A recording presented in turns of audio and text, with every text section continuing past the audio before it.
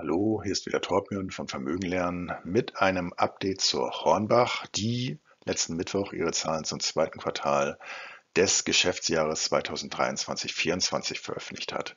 Das Geschäftsjahr bei Hornbach ist nicht das Kalenderjahr, sondern es beginnt jeweils am 1. März. Am Anfang, wie bekannt, immer der Disclaimer, dies ist keine Anlageberatung. Ich kann Fehler gemacht haben. Ich bin selber Aktionär der Hornbach. Wie du Geld so anlegst, dass es sich für dich gut anfühlt, weil es dein Risikoprofil trifft, das weißt am Ende nur du selber. Und dementsprechend solltest auch nur du diese Entscheidung treffen.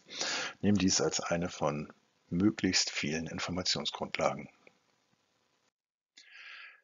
Hier einmal noch wieder der Blick auf unsere Internetseite. Wenn du äh, Interesse hast, laufende Informationen zu bekommen zu den Aktien, die wir beobachten, also welche es sind, findest du hier unter Aktien, dann gehe hier auf mein VL, mein Abo und dann kannst du entweder täglich oder wöchentlich dich eintragen, selbige Informationen zu bekommen.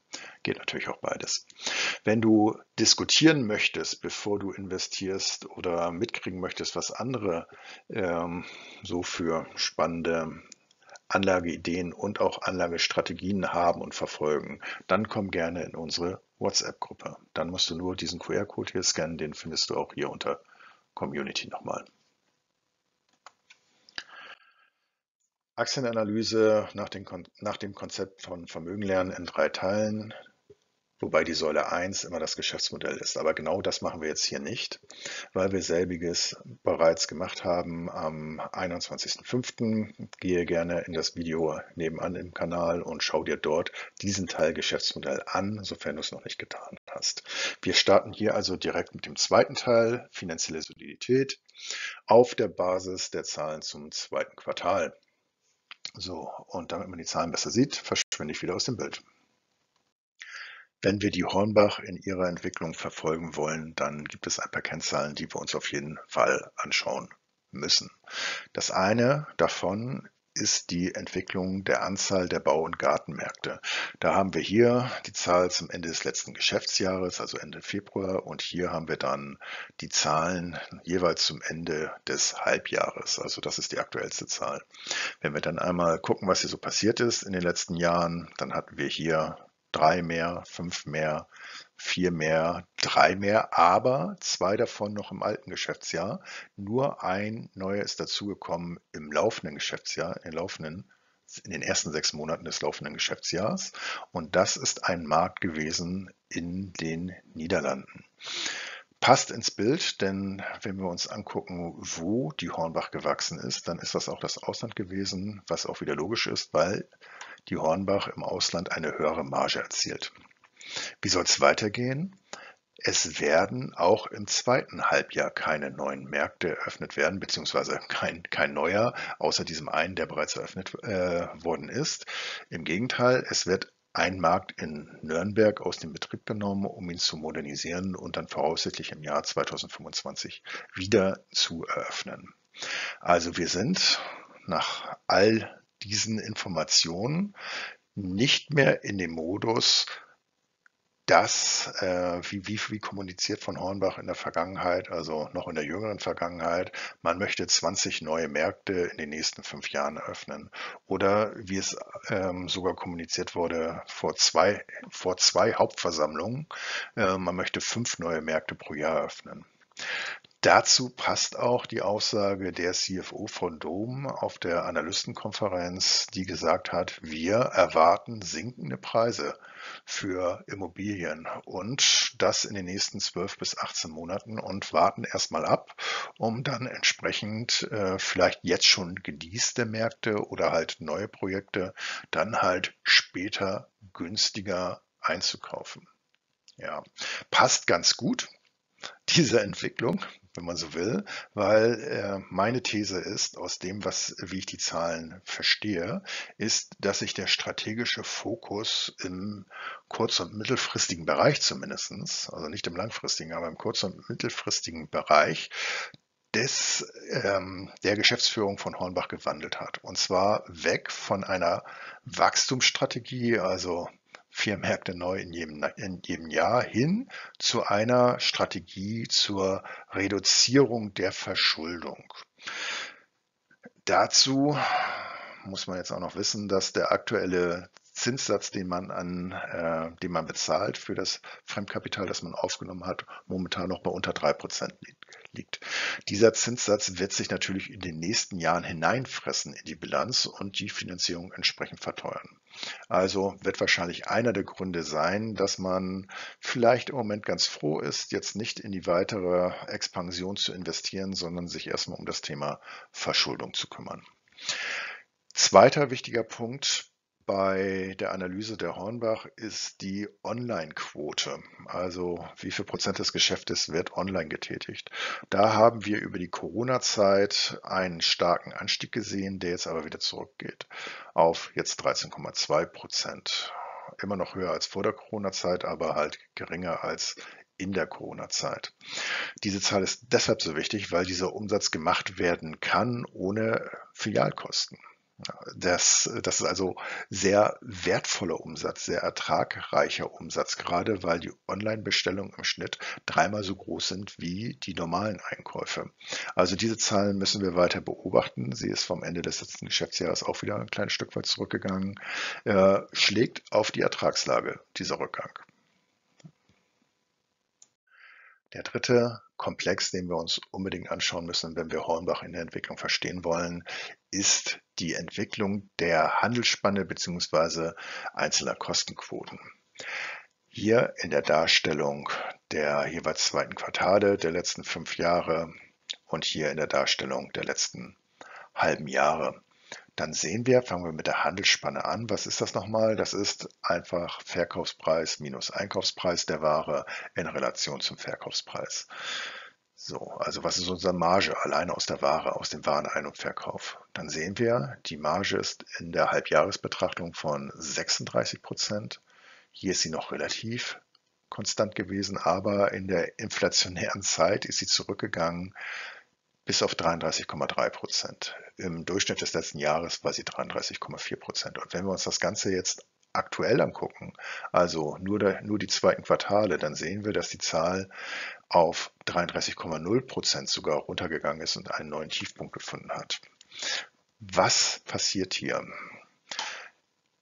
Die Hornbach betreibt eine Dauer-Tiefpreisstrategie, bedeutet, sie möchte immer der günstigste Anbieter sein. Sie möchte die Preise konstant halten, um für Projektkunden interessant zu sein. Auf der anderen Seite hatten wir dann insbesondere hier in 22, ähm, aber jetzt auch in 23 haben wir inflationäre Tendenzen gesehen auf der Einkaufspreisseite. Die eigenen Verkaufspreise hat man aber versuchsmöglich konstant zu halten oder nur langsam äh, anzuheben. Das geht natürlich auf die Handelsspanne und in der Summe führt dies zu einer Ertragsminderung im zweistelligen Millionenbereich. Was sind die Effekte, die wir jetzt in 23 mal sehen? Wir sehen rückläufige Einkaufspreise und auch Logistikpreise, aber das muss sich erstmal reinarbeiten. Das muss alles verarbeitet werden, das muss sich reinarbeiten. Wir sehen auch den Ausbau des Eigenmarkengeschäfts. Momentan beträgt der Anteil hier 24 Prozent. Ziel ist auf 30 Prozent hochzugehen. Im Eigenmarkengeschäft hat man eine höhere Marge, als wenn man halt Markenprodukte verkauft. Zum Vergleich, Kingfisher liegt hier bei über 40 Prozent. Also da scheint auf jeden Fall noch Luft nach oben zu bestehen. Ende des zweiten Quartals scheint dieser Effekt der Reduzierung jetzt seinen, äh, seinen sein Ende gefunden zu haben oder seinen Tiefpunkt gefunden zu haben. Also in der Kommunikation, die wir in den letzten Quartalen hatten, hätte ich erwartet, dass wir jetzt schon einen Anstieg der Handelsmarge sehen. Aber Aussage ist, Ende des zweiten Quartals hat sich sozusagen jetzt so reingearbeitet, dass wir jetzt für die Zukunft wieder einen Anstieg erwarten können. Also wenn jetzt nicht irgendwelche wilden Preiskrämpfe mit der Konkurrenz ausbrechen, so dass Frau Dohm in der Analystenkonferenz ausführte, sie erwartet für das gesamte Geschäftsjahr 23/24 wieder einen Anstieg über den Vorjahreswert von 33,4 Prozent. Also das ist, wäre eine sehr positive Entwicklung, beziehungsweise jetzt dieser, äh, dieser Rückgang, wie wir ihn jetzt gesehen haben, erklärt, warum die Ertragslage schlechter ist als in den Vorjahren. Der zweite Effekt, den wir uns angucken müssen, wesentlich ist, das sind die Filialkosten. Die sehen wir dann hier. Also alles Personal, Energie, alles, was man so braucht, um einen äh, Baumarkt zu betreiben. Da sehen wir, dass selbige angestiegen sind, jetzt im aktuellen Halbjahr, im aktuellen Quartal. Hintergrund dafür ist zum einen, dass wir steigende Personalkosten haben. Wir haben auch steigende Werbekosten gesehen, und zwar äh, ein Anstieg um 16 Prozent der Werbekosten, ähm, um die Ware, die wir im ersten Quartal nicht haben verkaufen können, jetzt im zweiten Quartal zu verkaufen und die Liquidität entsprechend äh, zu generieren, die Vorratsbestände zurückzuführen. Auf der anderen Seite haben wir eine Reduktion der Betriebskosten gesehen, insbesondere die Energie ist günstiger geworden. Aber, und das ist der wesentliche Effekt, wir haben jetzt im zweiten Quartal, und das ist etwas, was wir sonst äh, im letzten Jahr nur im vierten Quartal gesehen haben, wir haben eine außerordentliche Abschreibung in Höhe von 20 Millionen, insbesondere auf den Immobilienbestand, ob er jetzt geleast ist oder selber gehalten, aber halt auch auf Software gesehen. So, und das ist, äh, führt dann halt zu einem entsprechenden Anstieg hier. Also Zinsan der Zinsanstieg des, äh, der EZB oder der allgemeine Zinsanstieg hat dazu geführt, dass eine außerplanmäßige Analyse vorgenommen worden ist auf die Werthaltigkeit der Baumärkte. Und bei sechs Baumärkten ist man jetzt zum Ergebnis gekommen, sie sind halt äh, ja, um 20 Millionen in ihrer Werthaltigkeit zu reduzieren, beziehungsweise halt auch noch mit Software dabei. Das ist insoweit überraschend, wie gesagt, weil normalerweise wird äh, diese Analyse immer nur zum vierten Quartal vorgenommen. Aber wir hatten halt einen Indikator, nämlich die steigenden Zinsen, die dafür sprachen, dass hier gegebenenfalls Abschreibungsbedarf besteht äh, und entsprechend hat man diese Analyse vorgenommen. Verwaltungskosten, hier sind wir im kleineren Bereich unterwegs, aber wir sehen auch hier einen Anstieg und das kommt im Wesentlichen aus dem aktuellen IT-Umstellungsprojekt Richtung SAP HANA. Allgemein lässt sich äh, noch zur ähm, Entwicklung im ersten halben Jahr des aktuellen Geschäftsjahres sagen, dass wir im Frühling eine nasskalte Zeit hatten. Die Kunden sind im März, aber auch im April äh, deutlich weniger in die Baumärkte gekommen, weil es einfach ungemütlich war und man bei dem Wetter halt auch nicht pflanzen gehen wollte. Die, danach hat sich die Kundenfrequenz wieder deutlich erhöht. Allerdings, was wir feststellen können im Vergleich zur, zum letzten Jahr, ist, dass die Ticketgröße zurückgegangen ist. Ähm, heißt, die, die, die Leute kommen in die Baumärkte, aber sie kaufen weniger ein. Passt ja auch zur aktuellen konjunkturellen Entwicklung. Was wir auch noch sehen, ist von der allgemeinen Entwicklung her, dass Hausbauprojekte rückgängig sind, während hingegen weiterhin eine hohe Priorität in Richtung in Sachen Renovierung besteht. Apropos Renovierung, um das Potenzial aus dem Bereich Renovierung einmal aufzuzeigen, hat Hornbach jetzt diese Grafik einmal erstellt. Also hier haben wir die europäischen Länder, in denen man aktiv ist und hier die Gebäude nach äh, Jahrgang der Fertigstellung. So, und da kann man, wenn es in den anderen europäischen Ländern so ist wie in Deutschland, das wird wohl so sein, dann gilt die Regel, alles, was bis in die Ende der 70er ähm, gebaut worden ist, ist auf jeden Fall schon mal energetisch renovierungsbedürftig. Äh, das wird in den 80er Jahren ein Stück weit besser, in den 90ern auch, aber eigentlich ist man so richtig gut erst unterwegs, wenn man ein Haus aus den 2000ern oder danach halt erwirbt. Hornbach rechnet selber hier jetzt äh, für unter, unter der Überschrift Klimaneutralität aus dem Wohnen für Europa mit einem jährlichen Investitionsbedarf von ungefähr 250 Milliarden Euro. Und dann kommt noch das Thema äh, altersgerechtes Wohnen hinzu. In Deutschland beträgt der Anteil der Wohnungen, die altersgerecht gebaut sind, zurzeit nur zwei Prozent. So, mit diesem Vorwissen jetzt wieder Einstieg in die Bilanz. Wir haben hier die Bilanz zum Geschäftsjahresende, also Ende Februar und hier haben wir jetzt die aktuelle Bilanz. Gehen wir einmal durch, dann sehen wir schon mal, die Bilanzsumme ist zurückgegangen wobei sie im langfristigen Bereich bei den Aktivaren noch relativ konstant ist. Hier können wir sehen, Sachanlagen sind ein bisschen gestiegen, ähm, Leasingobjekte, Nutzungsrechte sind gefallen, bedeutet der Neumarkt in den Niederlanden, den hat man scheinbar gekauft und nicht geleast. Wo es wirklich anfängt spannend zu werden, ist bei den kurzfristigen Vermögenswerten. Hier sehen wir einen deutlichen Rückgang im Vergleich zum Geschäftsjahresende und auch im Vergleich zum ersten Quartal. Und das kommt daher, dass es doch gelungen ist, die Vorräte deutlich zu reduzieren.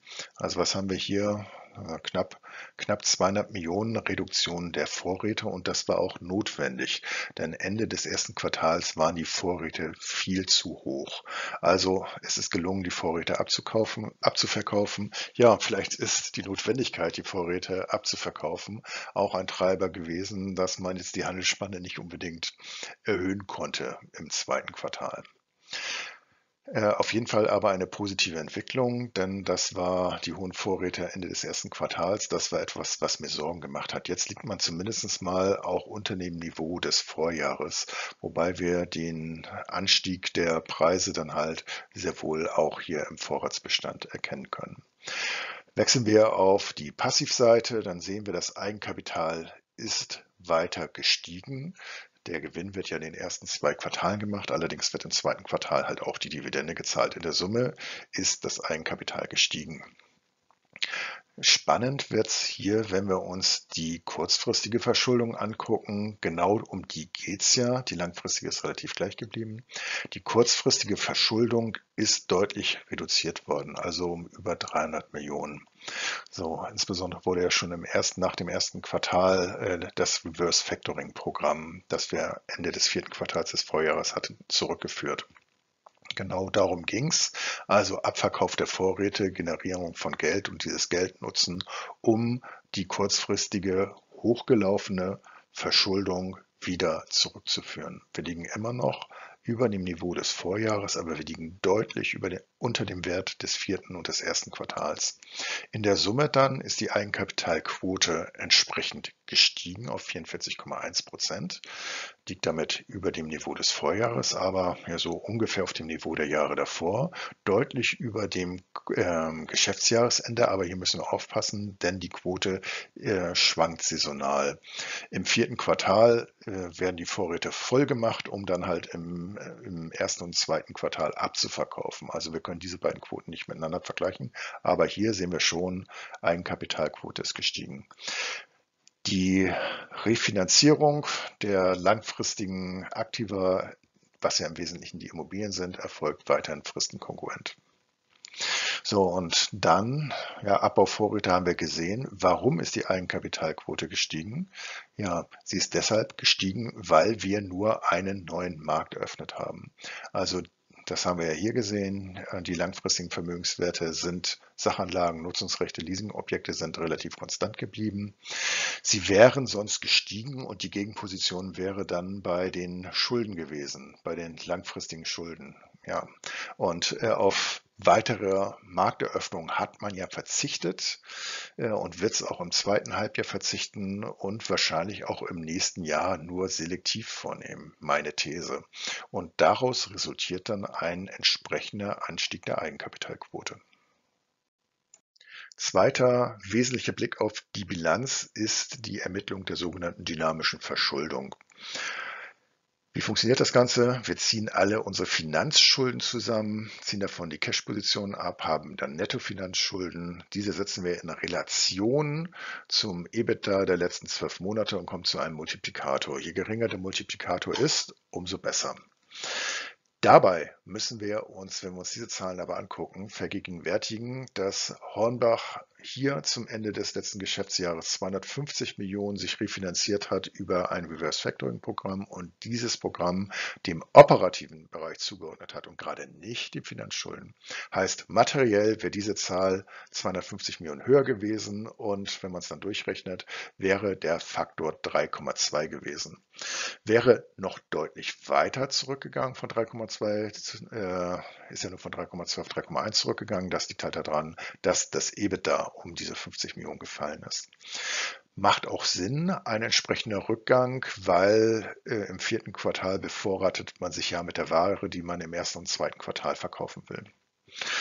Wichtig, diese Entwicklung, insbesondere weil an der dynamischen Verschuldung hängt zum Teil auch das Rating des Unternehmens.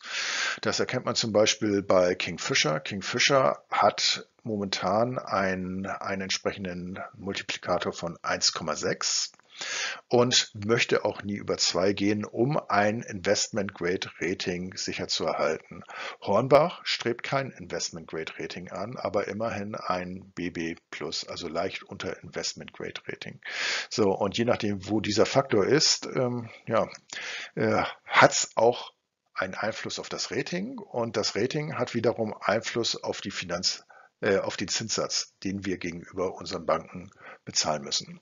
Also, äh, wenn, gerade wenn die Zinsen steigen und das EBITDA ein Stück weit fällt, leite ich ab, wenn man das Rating entsprechend aufrechterhalten will und damit halt auch die Finanzierungskosten trotz steigender Zinsen einigermaßen stabil halten will, dann äh, spricht auch viel dafür, die entsprechenden Finanzschulden zurückzuführen.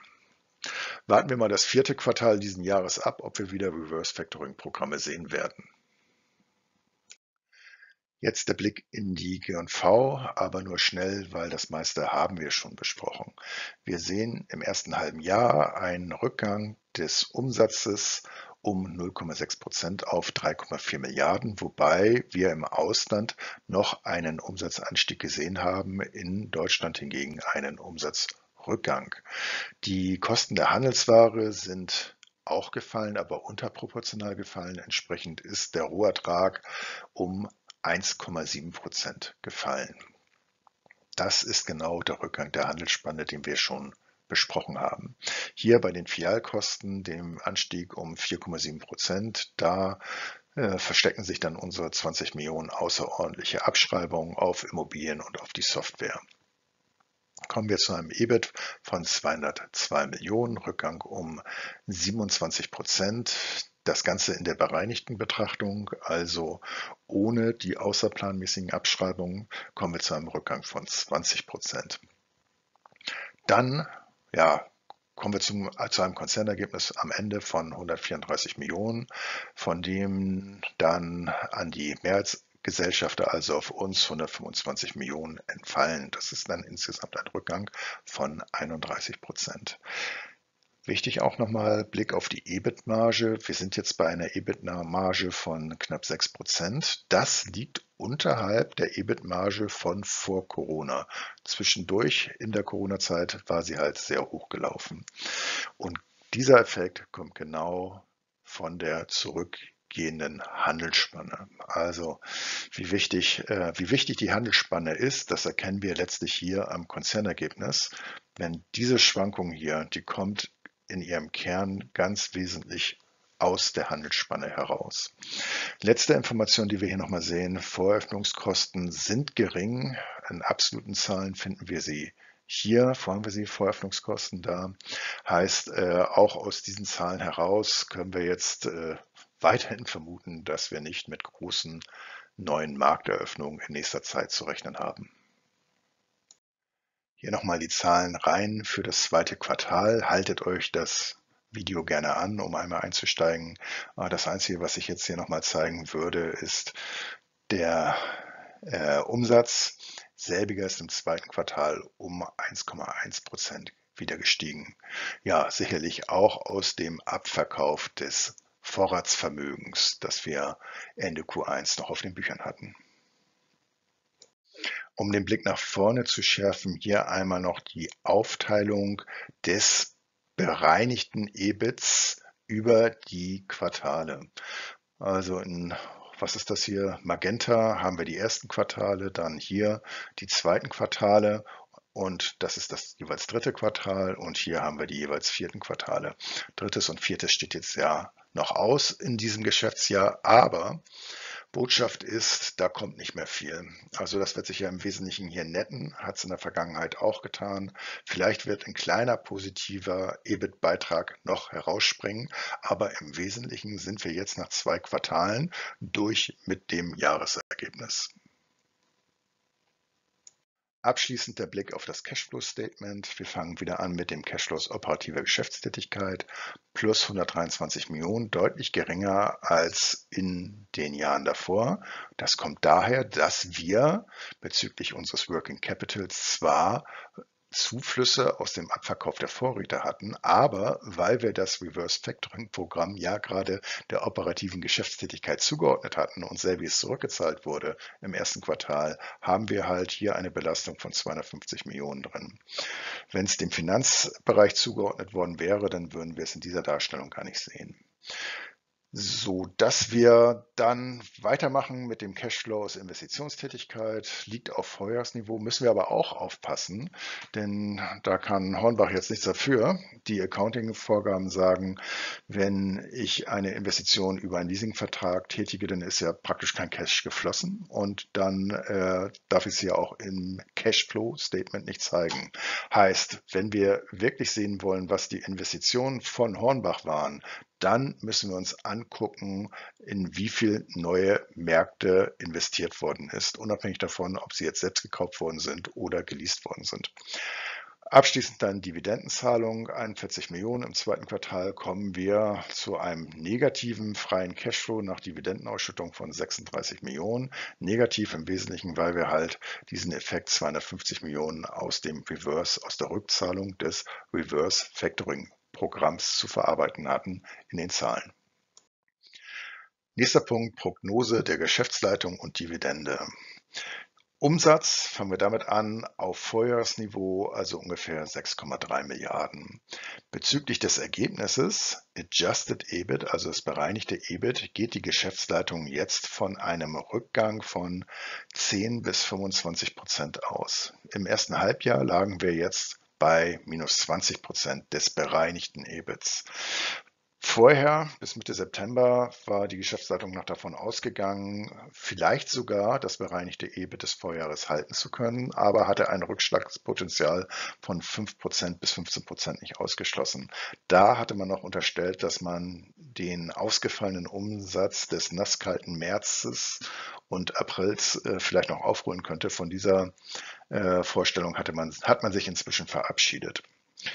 Investition, dritter Punkt, da müssen wir wieder aufpassen. Hier wird CapEx, also Kapitalauszahlung für Investitionen, auf Vorjahresniveau ähm, ausgeführt, aber die Auszahlungen beziehen sich ja nur auf die Immobilien, die wir selber kaufen. Da sind die Gemieteten nicht drin. Also diese, mit dieser Aussage können wir nichts anfangen.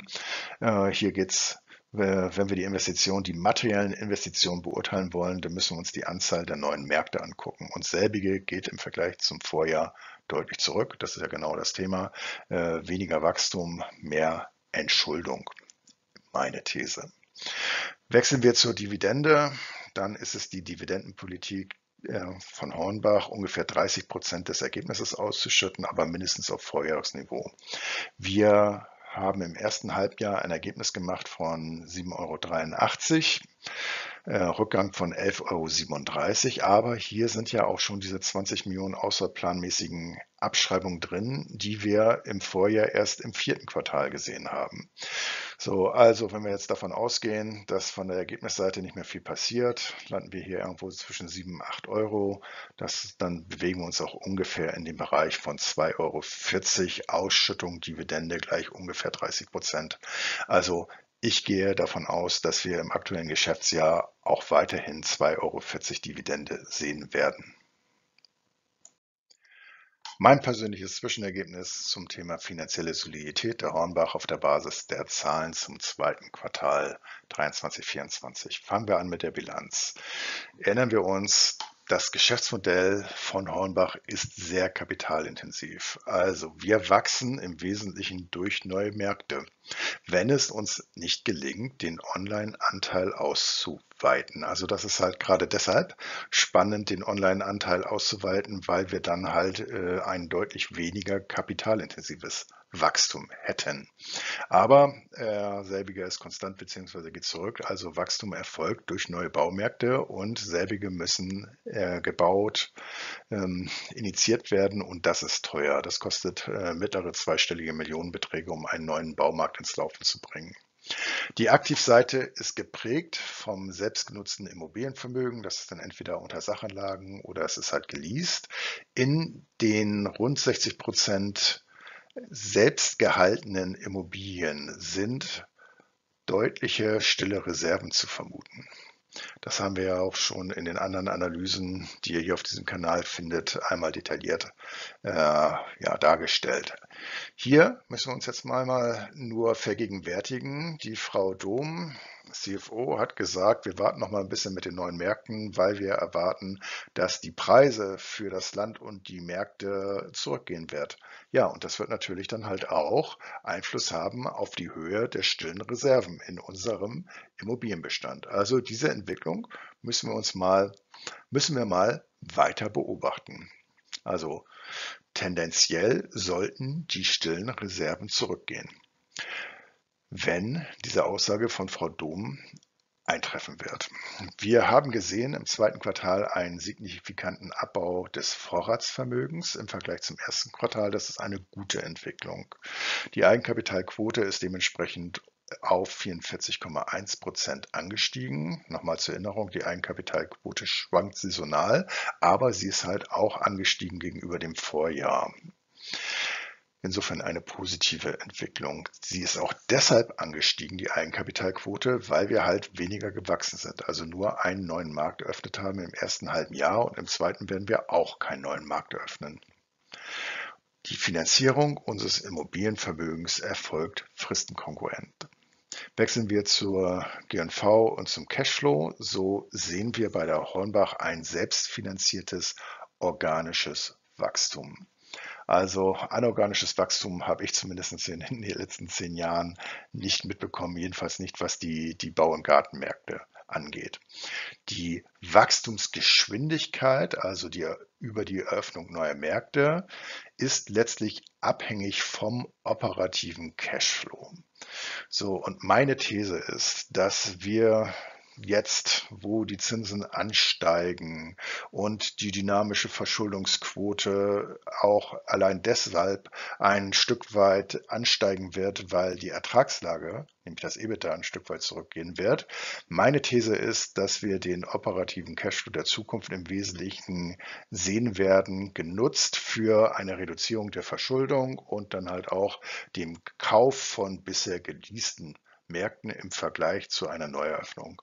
Nur Kauf eines bisher geleasten Marktes würde die Verschuldung ja nicht weiter nach oben treiben. Ja. So, kommen wir zu einem Gesamtergebnis, zu meinem Gesamtergebnis. Insgesamt gehe ich trotz der zurückgegangenen, zurückkommenden, zurückgekommenen Ertragslage, also 20 Prozent Rückgang des bereinigten EBITs, weiterhin von soliden finanziellen Verhältnissen aus. Ich gehe dabei von einer rückläufigen Wachstumsgeschwindigkeit an, aus. Davon, das werde ich beobachten, denn bei der jetzigen Ertragslage hat man gar nicht das Potenzial, um vier, fünf Märkte pro Jahr ähm, neu zu eröffnen und die Verschuldungsquote entsprechend im Griff zu behalten.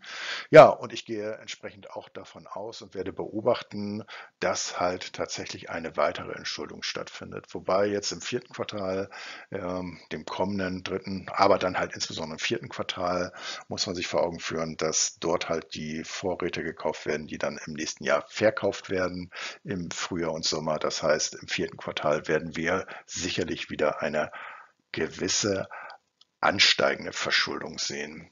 Aber da gehe ich davon aus, dass man das eng monitoren wird und das werde ich mir dann halt auch genauer angucken. Letzter Punkt der Analyse, die Bewertung der Aktie anhand von Kennzahlen. Diese Tabelle kennt ihr bereits die letzten zehn Jahre anfangend mit dem Aktienkurs und dann entwickelt die entsprechende Ableitung der Kennzahlen. Fangen wir mal, schauen wir uns nur das letzte Jahr an. Da war der Aktienkurs bei knappen 79 Euro. Der, das Kursgewinnverhältnis lag bei 8 die Dividendenrendite bei 3,1 Prozent, Ausschüttungsquote 24,4 Prozent und das Kurs-Buchwert-Verhältnis bei 0,7. Ich habe jetzt hier nicht, wie ich es noch bei Eurokai einmal reingemacht äh, habe, einmal eine Kennzahl ergänzt, äh, Eigenkapitalrendite geteilt durch Kurs-Buchwert-Verhältnis. Da musste ich nämlich heute herzlich lachen, als ich das nämlich mal als Bruch aufgeschrieben habe und angefangen habe zu kürzen, habe ich festgestellt, dass das nichts anderes ist als der, als der Kehrwert des Kurs-Gewinn-Verhältnisses. Also die Kennzahl äh, werdet ihr jetzt hier im Weiteren von mir nicht finden. So, ähm, dann haben wir noch, hatte ich noch die stillen Reserven ausgerechnet ähm, von 41 Euro pro Aktie zum Ende des letzten Geschäftsjahres. Ergab dann ein Kurs Buchwertverhältnis unter Berücksichtigung dieser stillen Reserven im Eigenkapital von 0,5. Aber jetzt aufgepasst, wie gesagt, diese stillen Reserven, die werden wir beobachten müssen, äh, wie sie sich dann halt entwickeln äh, in Abhängigkeit von der Entwicklung der Immobilienpreise für Gewerbemärkte. Also ein bisschen weniger Fokus hier auf diese Kennzahl Kurs-Buchwert-Verhältnis mit stillen Reserven. Da würde ich mal sagen, gucken wir mal in Zukunft mehr so hier hin. So, wie hat sich das weiterentwickelt? Auf den 31.08. ist der Kurs zurückgegangen auf 72,60 Euro. Das ist jetzt ungefähr auch mein persönlicher Einstiegskurs. Kann ich mal jetzt so gut merken. So, das Kurs-Gewinn-Verhältnis liegt bei äh, nicht das Kursgewinnverhältnis, die Earnings per Share liegen bei 7,83 Euro. Ähm, das Eigenkapital pro Aktie liegt bei guten 116 Euro, woraus sich dann äh, auf dem, auf das Ende des zweiten Quartals ein Kurs-Buchwert-Verhältnis von 0,6 errechnet hat. Zum 1.10. ist der Kurs weitergefallen auf 60,70 Euro und zu diesem Kurs hat dann halt Herr Albrecht Hornbach auch für 300.000 Euro äh, Aktien an der Hornbach Holding gekauft. Das hat er vor einem guten Jahr oder ungefähr schon einmal bei 67 Euro gemacht. So und jetzt bei 60 Euro schien ihm zumindest mal attraktiv, um selber zu kaufen. Ich glaube, er hat im Durchschnitt zu 60,30 Euro gekauft. Er gibt ein Kurs-Buchwert-Verhältnis auf diesem Niveau auf Basis des Eigenkapitals zum Ende des zweiten Quartals von 0,5. Wie gesagt, dieses Kurs-Buchwert-Verhältnis mit den stillen Reserven, das lassen wir hier mal raus. Bei der Frage der Bewertung der Hornbach-Aktie hatte ich beim letzten Mal drei Szenarien aufgemacht. So, um mal zu gucken, welche Bewertungszahlen sich ergeben, je nachdem, in welchem Szenario man landet. Das erste Szenario war, der Gewinn pro Aktie liegt auf Vorjahreshöhe. Das wären dann 9,83 Euro. Der zweite Fall wäre Gewinn geht um 15 Prozent zurück und der dritte Fall wäre Gewinn pro Aktie geht um 30 Prozent zurück. Wobei Nochmal zur Erinnerung, in diesem Szenario im ersten Gewinn pro Aktie wie Vorjahr war im Vorjahr ja bereits gerade enthalten schon eine außerplanmäßige Abschreibung von ungefähr 25 Millionen, sodass äh, dieser Fall mir beim letzten Mal durchaus noch als im Bereich des Möglichen erschien. Ich glaube, da wo wir jetzt heute stehen, mit 20 Millionen außerplanmäßigen Abschreibungen, die wir jetzt bereits im zweiten Quartal gesehen haben und einem Rückgang des bereinigten EBITs um 20 Prozent, können wir jetzt dieses Szenario wirklich ausschließen. Stellt sich dann die Frage, wo landen wir, in, äh, wenn wir denn hier irgendwo landen, aber wo, äh, welches, wo würden wir hier so landen? beziehungsweise was ist wahrscheinlicher von diesen Szenarien.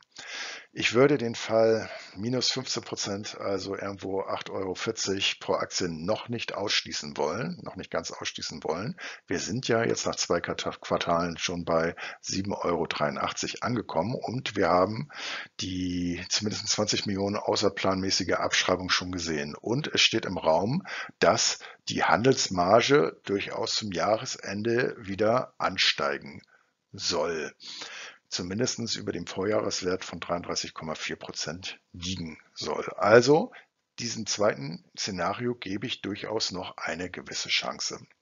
Am wahrscheinlichsten halte ich aber das dritte Szenario. Und zwar vor dem Hintergrund, dass, sich, äh, dass wir weitere konjunkturelle Eintrübung im zweiten Halbjahr zu erwarten haben und weitere außerplanmäßige Abschreibungen im vierten Quartal nicht auszuschließen sind. Warum nicht auszuschließen? Ja, einerseits wegen der weiteren konjunkturellen Eintrübung, aber andererseits auch aus dem Zinseffekt. Denn die EZB hat den Zins weiter angehoben und der Zins ist ein wesentlicher Effekt bei dieser Bewertung zur Fragestellung, ob wir außerplanmäßige Abschreibungen sehen werden. Also, meine Erwartungshaltung geht in diese Richtung, sodass wir ungefähr so Pi mal Daumen bei 7 Euro pro Achse vielleicht landen werden äh, abhängig dann halt, wie weit die Konjunktur weiter eintrübt und äh, in welcher Höhe wir dann noch weitere außerplanmäßige Abschreibungen sehen werden. Dann hätten wir auf Basis des aktuellen Kurses ein Kursgewinnverhältnis ungefähr von 9 und äh, eine Dividendenrendite sowieso in allen Szenarien von 4%, eine Ausschüttungsquote von 35%, was dafür spricht, dass wir halt auch unsere 4% Dividendenrendite erhalten und ein Kurs-Buffett-Verhältnis von, hatten wir ja schon ausgerechnet, von 0,5. Das Kurs-Buchwert-Verhältnis mit den stillen Reserven inkludiert. Das wollen wir mal zur Kenntnis nehmen, aber Fokus dann auf dieses Kurs-Buchwert-Verhältnis legen.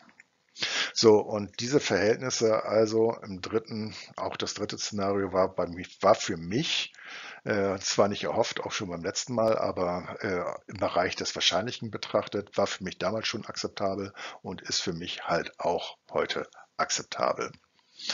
So, ich sehe das Risiko insbesondere in dem Thema Konjunktureintrübung. Ich sehe aber auch eine Chance insgesamt halt für die Bewertung der Aktie, wenn die Handelsmarge jetzt tatsächlich wieder endlich anfangen sollte zu steigen. Mein persönliches abschließendes Fazit, der ich jemand bin, der einen langfristigen Anlagehorizont hat. Ich halte die Hornbach-Aktie für mich persönlich weiterhin für attraktiv aus folgenden Gründen. Nämlich, ich meine, das Geschäftsmodell verstanden zu haben. Es ist für mich nachvollziehbar, es ist für mich auch plausibel und ich sehe es auch als zukunftsfähig an. Die finanziellen Verhältnisse sind für mich insgesamt stabil. Dabei habe ich wahrgenommen, das ist jetzt keine offizielle Kommunikation der Geschäftsleitung, aber ich habe für mich wahrgenommen und eingewürdigt, dass die Strategie des Unternehmens umgeschwenkt ist in einem kurz- und mittelfristigen Bereich, erstmal auf eine Reduzierung der Verschuldung des Unternehmens. So, aber langfristig weiterhin natürlich Strategie Richtung Wachstum durch neue Märkte und sicherlich auch durch Ausbau des Online-Anteils. Dies halte ich für richtig und wichtig. Und diesen Punkt werde ich halt auch für mich weiterhin beobachten, ob ich hier richtig liege. Ich sehe auch einen signifikanten Abschlag auf den Substanzwert, also Kurs-Buchwert-Verhältnis momentan von 0,5 bei einem gut akzeptablen Kurs-Gewinn-Verhältnis, welches ich um und bei 9 einschätze für das Jahr 23. Und ich sehe ein zukünftiges Ertragspotenzial aus dem Wiederanstieg der Handelsspanne, wie ich es auch schon vor drei und sechs Monaten gesehen habe. Und jetzt schauen wir mal, ob es tatsächlich eintreten wird, wie es die Frau Dom gesagt hat. Dabei habe ich für mich berücksichtigt, dass Hornbach ein kapitalintensives Geschäftsmodell betreibt. Ich habe für mich berücksichtigt, dass sich die Finanzierungskosten langsam reinfressen werden in das Unternehmen, in die Bilanz und G&V und damit auch in den operativen Cashflow. Deshalb finde ich ja gerade dieses Thema Entschuldung so wichtig. Und wir werden entsprechend, weil man nicht alles haben kann auf dieser Welt, eine verringerte Wachstumsgeschwindigkeit sehen. Ja, und die letzte Unsicherheit, die letzte große Unsicherheit aus meiner Sicht ist halt das Thema Konsumentenverhalten in einer Phase äh, zurückgehender konjunktureller Aussichten. Abschließend wieder technische Punkte. Autor der Analyse ich, Torbjörn Karp, Datum der Analyse 1.10.23 und ich halte Aktien an der Hornbach Holding. Meine wesentlichen Quellen waren die Finanzberichte, also Halbjahresfinanzberichte, Geschäftsberichte der Hornbach. Sehr gut, um das Unternehmen zu verstehen, ist das Factbook, Factbook ähm, jetzt Stand, letzter Stand September 23 und halt die Analystenpräsentation bzw. Konferenz zum zweiten Quartal 23, 24. Das war's, unser kleines Update zu Hornbach Stand Q2 2023-24. Wenn es dir gefallen hat, würde ich mich über einen Daumen nach oben freuen. Wenn du Analysen dieser Art magst, dann abonniere gerne den Kanal und schalte die Glocke ein. Äh, sag mir gerne in den Kommentaren, was dir gefallen hat oder nicht gefallen hat. Und am allermeisten würde ich mich freuen, wenn du diesen QR-Code, deshalb hier nochmal aufgedruckt, äh, scannen würdest, um dann Teil unserer kleinen Gemeinschaft zu werden, in der wir alle möglichen Aktienprobleme miteinander wälzen und uns austauschen, bevor dann jeder seine eigene Entscheidung trifft. Ich würde mich freuen, dich kennenzulernen und tschüss.